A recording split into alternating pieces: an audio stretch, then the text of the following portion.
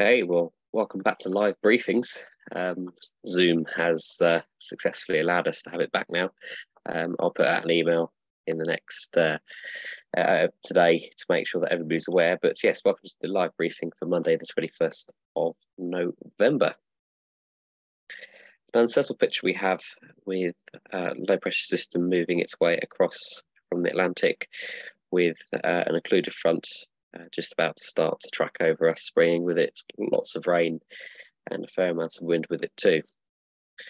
This week will continue to be unsettled with brief good spells. Uh, looking at, at, tomorrow, it's still um, reasonably unsettled, but uh, hopefully less fronts. Wednesday, frontal. And uh, yeah, it just sort of stays that way a week. But what can I say? It is uh, typical for this time of the year. Winds at height, well, that's quite uh, uh, clear. You can see how quickly the wind is changing across the country, um, across the channel, looking like uh, westerly at 45 knots, more into the centre of the country, more of a southerly flow. We're probably somewhere between that. So, yeah, sort of south southwest, about 40 knots. Satellite picture over the UK uh, shows the frontal area just starting to track in, as you can see, uh, with a fair amount of cloud covering England and Wales. Um, clear out to the west, but unfortunately, that clearance is unlikely to get to us particularly soon. Public forecast shows eight degrees being top temperature today, which is uh, quite cold actually. And as you can see on there, strong winds starting off easterly, going westerly, and uh, yeah, not really clearing through uh, today until much later. See overnight, uh, it's not too bad actually, uh, but it's going to be sort of mixed tomorrow.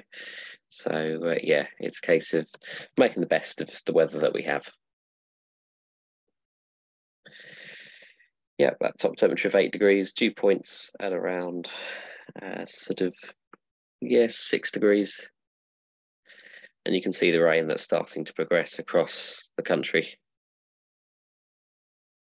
And will take most of the day to clear, and with it, it will make the air feel very wet indeed.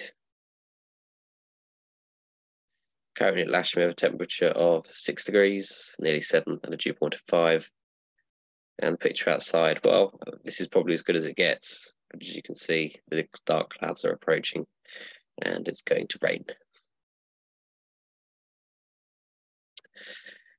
Farnborough are currently reporting no clouds detected because uh, it's pre-front and uh, you can see most of the day it shows broken clouds at 800 feet, heavy rain and drizzle and strong winds throughout the day too.